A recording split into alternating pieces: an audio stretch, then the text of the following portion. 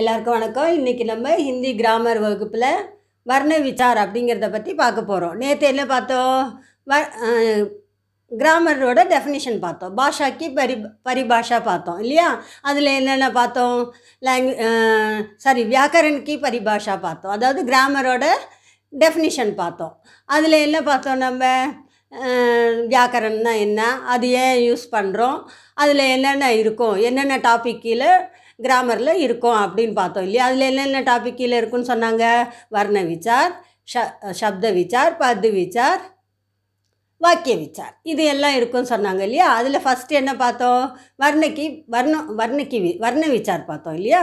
அதில் ஒரே ஒரு இதை பற்றி மாத்திரம் இப்போ விரிவாக பார்க்க போகிறோம் அது என்னென்னா வர்ண வர்ணனை எழுத்து. எழுத்தை பற்றின ஒரு பெரிய டாப்பிக்காக நம்ம பார்க்க போகிறோம் வர்ணைக்கு பரிபாஷா. வர்ணனை எழுத்து. எழுத்துனா என்ன? பரிபாஷானா டெஃபனிஷன் எழுத்துங்கிறதுக்கு என்ன டெஃபனிஷன் வர்ண உஸ் மூல் துவனிக்கோ கருத்தேகன் வர்ண வர்ண எழுத்துன்னு அந்த ஆதார ஸ்ருதியை தான் சொல்கிறோம் சத்தத்தை தான் சொல்கிறோம் ஜிஸ்கே கண்டியா டுக்கடே நகி கியே ஜா சக்தி. எதை நம்மளால் உடைக்கவோ துண்டு துண்டாவோ ஆக்க முடியாதோ அதை வர்ணன்னு சொல்கிறோம் எழுத்துன்னு சொல்கிறோம் இசேகம் ஹம் க சக்தேகம் இப்படியும் சொல்லலாம். எப்படின்னா வகு சப்சே சோட்டி துவடி ஜிஸ்கே அவர் டுக்கடே நகி கியே ஜா சக்தே. இன்னும் அது வந்து எல்லாத்தையும் விட சின்ன சத்தம். ஓசை. அதை வந்து நம்ம வந்து என்ன செய்ய முடியாது? துண்டாக்க முடியாது. பாஷாக்கு சப்சே சோட்டி இக்காயி துவனி ஹே இக்காயின்னா யூனிட். லாங்குவேஜோட எல்லாத்தையும் விட ஒரு சின்ன யூனிட் என்னென்னா துவனி. ஓசை எழுத்தோட ஒலி. அப் இப்போ ஆ அப்படின்னா அது வெறும் எழுத்து தான். அதே அது கூட ஒரு எழுத்து சேர்த்தோன்னா இன்னொரு எழுத்து சேர்த்தோன்னா அது வேர்டு ஆகிடும் சப்தம் ஆகிடும் அதனால் எழுத்துங்கிறது தான் லாங்குவேஜ்லேயே சின்ன யூனிட்டாக இருக்கும்.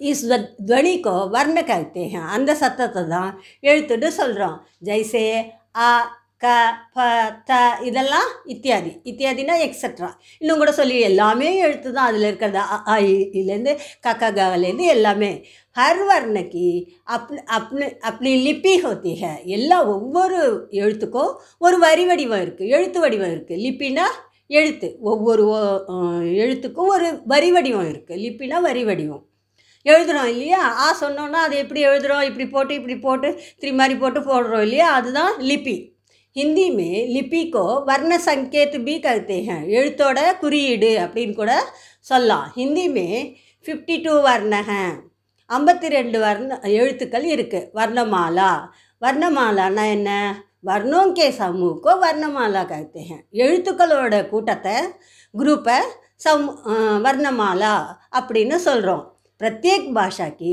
அப்படி வர்ணமாலா ஹோத்திக. எல்லா லாங்குவேஜ்லேயும் அது அதுக்கு ஒரு வர்ணமாலா இருக்குது வர்ணமாலானா எழுத்துக்களோடைய தொகுப்பு. இப்போ தமிழா ஐ இ கக்கா கக்கா கிக்கி குக்கு கே கே கை கோ க கொக்கோ கவு அப்படிலாம் சொல்கிறோம் இல்லையா? அதெல்லாம் வர்ணமாலா.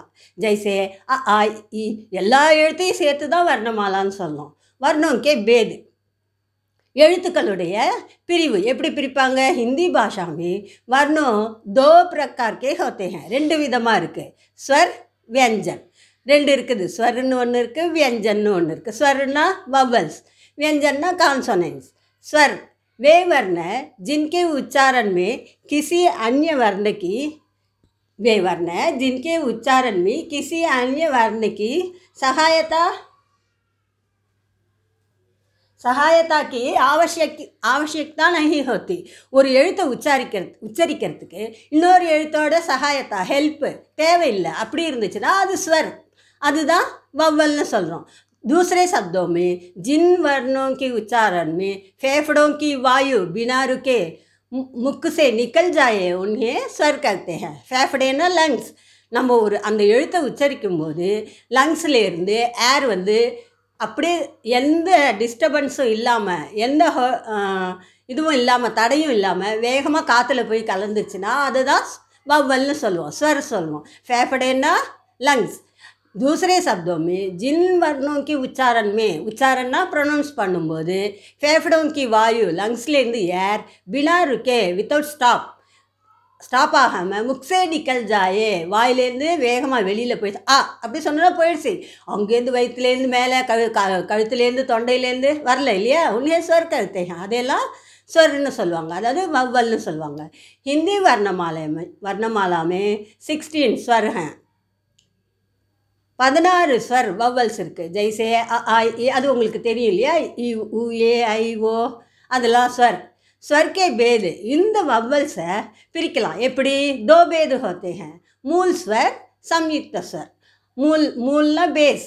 சம்யுக்தன்னா ஜாயின் ஆகி வர்ற ஸ்வர். எதுன்னு பார்க்கலாம்? மூல் ஸ்வரில் என்னென்னா அ ஆ இ இ உ உ ஏ ஓ. இந்த இந்த எழுத்தெல்லாம் மூல் ஸ்வர். எத்தனை இருக்குது எட்டு இருக்குது எட்டுமே மூல் ஸ்வர். அடுத்தது சம்யுக்த ஸ்வர்னு எதை சொல்லுவாங்க? ஐ அவர் அவ் ஐயோ அவ்வையும் சொல்கிறாங்க ஏன் சம்யுக்த ச சருன்னு சொல்கிறாங்கன்னா ஐ எப்படி வந்தது? ஆவையும் ஏயையும் ஜாயின் பண்ணி ஐ சொல்கிறோம் அ ஏ ஐ அப்படி சொல்கிறோம் இல்லையா? அவ் எப்படி சொல்கிறோம் அ ஓ சேர்த்தா அவ். அப்போ இது ரெண்டும் மாத்திரம்தான் சம்யுக்த ஸ்வர். ஜாயினிங் ஆகி வந்த வபல்ஸ் மூல் ஸ்வர்க்கே பேத் பேது. இப்போ அங்கே அங்கேருந்து பேத் பேதாக வந்துக்கிட்டே இருக்குது மூணு விதமாக வந்துக்கிட்டே இருக்குது கவனித்து படிச்சுட்டு வரணும். मूल स्वर के भेद मूल स्वर के तीन भेद होते हैं हर्ष्व स्वर दीर्घ स्वर प्लुत स्वर மூணு விதமாக மூல் ஸ்வரை பிரிக்கிறாங்க என்ன என்னென்னு பா பார்த்தோம் மூல் स्वर के तीन भेद होते हैं ह्रस्व ஜி ஃபஸ்ட் ஒன் पाருங்க डेफिनेशन ஜின் स्वरों के उच्चारण में கம் से कम समय கொஞ்சமாக டைம் எடுக்கும் அந்த அந்த எழுத்துக்களை உச்சாரிக்கிறதுக்கு. அதுதான் மூல் ஸ்வர்னு சொல்லுவாங்க. உன்னே ஹர்ஷ சார் கருத்தே ஹேன் ஏ சார் ஹேன் அ இ உ ரி. இல்லைனா ரூ. எப்படி வேணால் சொல்லாத அ இ உ ரி. இதெல்லாம் என்ன எழுத்துக்கள்?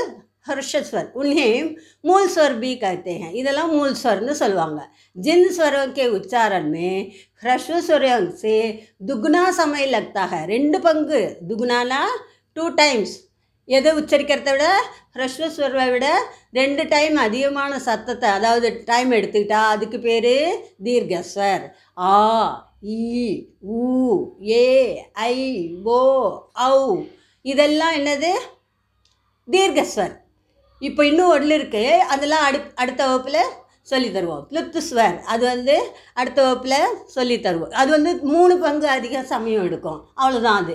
அது அடுத்த வகுப்பில் விரிவாக சொல்லி தந்து இன்னும் மிச்சம் இருக்கிற டெஃபனிஷன்ஸையும் சொல்லி தருவோம். அதனால் இதை இது வரைக்கும் நல்லா படித்து ப்ராக்டிஸ் பண்ணுங்கள் இந்த வீடியோவை லைக் பண்ணுங்கள் ஷேர் பண்ணுங்கள் சப்ஸ்கிரைப் பண்ணுங்கள்